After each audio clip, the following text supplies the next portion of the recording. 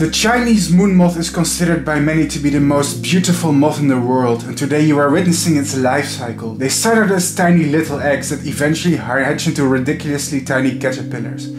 These moths exclusively feed on coniferous trees such as pine trees, spruce, larch. Their favorite is pine tree, but other coniferous trees can work too. While the baby caterpillars are dark, once they grow bigger, interestingly they become green. Interesting to note is that when they approach their maximum size, their sides are adorned with iridescent shiny golden patches.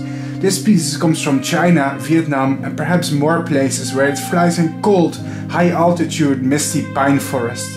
They like to uh, have colder temperatures. The caterpillars, once fully grown, spin cocoons on the floor or in pine needles. After a few months, the moths come out. Magnificent! The male of this species is pink and yellow with long tails.